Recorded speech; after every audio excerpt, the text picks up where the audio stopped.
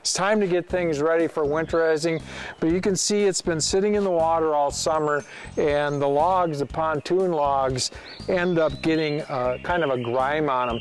These things are impossible to clean. Uh, I've got a, a cool tip.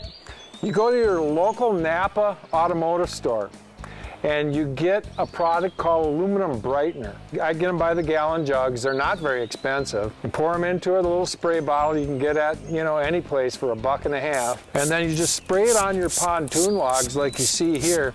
This stuff's pretty amazing. You can rub on it a little bit, but for the most part, you don't even have to do that very much. You can see we've only done this for a little bit with no effort. I haven't even touched a rag to it at all. And look how it ends up cleaning up the pontoon logs. It doesn't take you any time at all and you can clean your whole pontoon. It really doesn't matter how much water stain you have on it. That's a really great tip for, for all of you out there. To get your pontoons cleaned.